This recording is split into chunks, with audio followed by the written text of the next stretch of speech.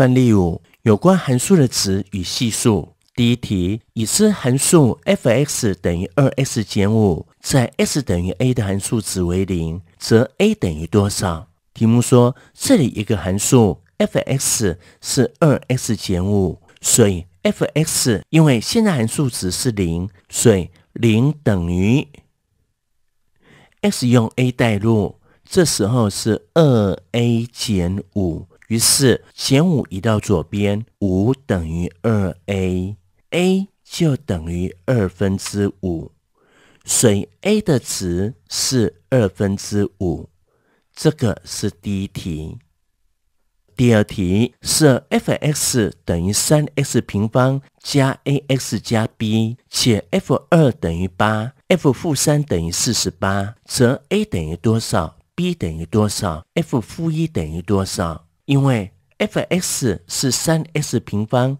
加 ax 加 b，因此我们 x 先用二代入，所以第二题 x 用二代入，f(x) 等于八，就等于三乘上二的平方加 a 乘以二加 b，于是等于二的平方是四三十二加二 a 加 b，因此二 a 加。b 就等于十二移到左边，八减十二等于负四，而 f 负三等于四十八，所以我们代入 f(x) 是四十八等于三 x 平方，这时候 x 是负三，所以负三的平方加 a 乘以负三加 b，因此等于负三的平方九，九三二十七减三。a 加 b，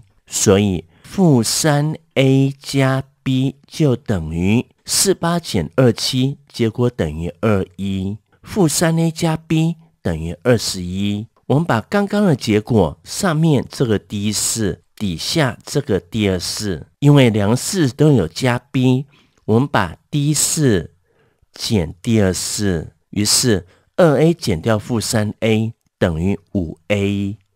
等于负四减掉二十一等于负二十五，所以 a 等于负五，因此 a 的值是负五。负五再代入第一式里面，二乘 a，所以是二乘负五加 b 等于负四。二乘负五是负十，负十加 b 等于负四，所以。b 就等于十减四等于六，所以 b 的值等于六。因此函数是 f(x) 等于三 x 平方加 a 是负五，所以是减五 x 加 b，所以加六。